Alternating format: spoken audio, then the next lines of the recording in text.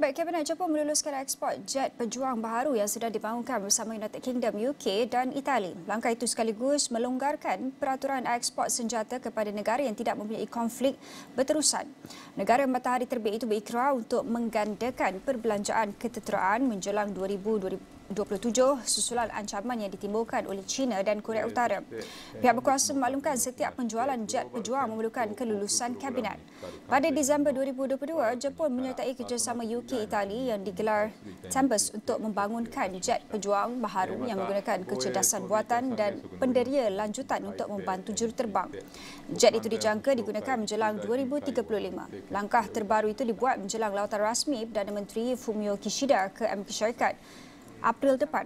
Beliau dijangka menekankan kerjasama Tokyo dengan Washington dan kesediaan negara itu untuk terlibat lebih lanjut dalam perkongsian pertahanan.